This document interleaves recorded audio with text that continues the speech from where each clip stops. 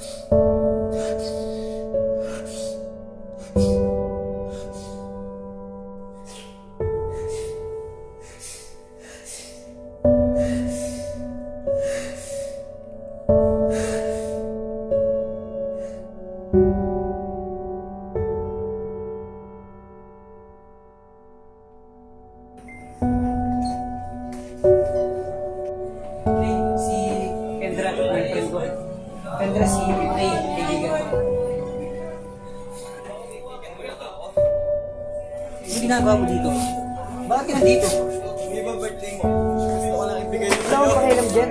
Hindi ko kailangan ng regalo mo. Ray, ba sabi mo? Hindi ka tuloy na babae. Uy! Uy! So, yung, ka, lumayas ka dito. Hindi ka dito kailangan.